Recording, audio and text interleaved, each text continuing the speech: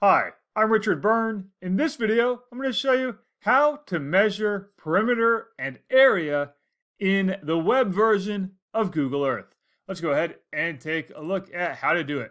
So you can see I have Google Earth pulled up here in my web browser. I'm in Boston. I'm right near Fenway Park. And let's use the measuring tool over here on the left-hand side to measure the perimeter and the area of, let's say, this building right here. And I want to zoom in so that I have a more accurate starting place. And I'm going to just simply click there on the corner and click down here, click around, and you'll see it's measuring as I go. And back to the starting place to close the shape. And you can see we have the perimeter, and you can see that in feet. But you could also switch it out and look at it in yards, miles, smoots, kilometers, meters, nautical miles, or centimeters. And the same thing with area. It automatically calculated it in acres, but you can change it out to square feet, square yards, square nautical miles if you wanted to, square kilometers, or square meters. Now I'm going to close that out. And that was a very simple way to measure, just going around in that nice rectangle. Very easy to do. But let's say you have an object or something that's a little more complicated, like Fenway Park itself. And we can still do the same type of measuring, and Google Earth will still calculate it for us.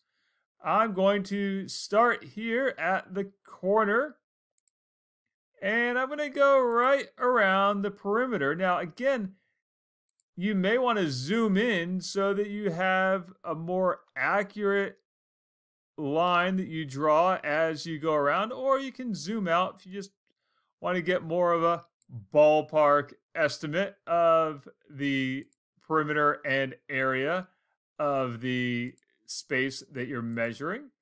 And you can see here, I'm just going to ballpark it as I go, and I can click and zoom as I need to. I'm going to go right around the corner here and we'll come all the way down here, go across, and I'm going to continue to measure. I'm going to pop out right there for a second, then pop back in and keep going along the wall here. Go back out, and now there we are back at the beginning, and we can see it's about 8.6 acres that the whole ballpark and complex occupies, but we can switch that out to any of those other units of measurement. Likewise, we can swap out the feet for meters or yards or miles and inches if we wanted to. So that's how you can measure perimeter and area in the web version of Google Earth. As always, for more things like this, please visit practicaledtech.com, freetechforteachers.com, or subscribe to my YouTube channel.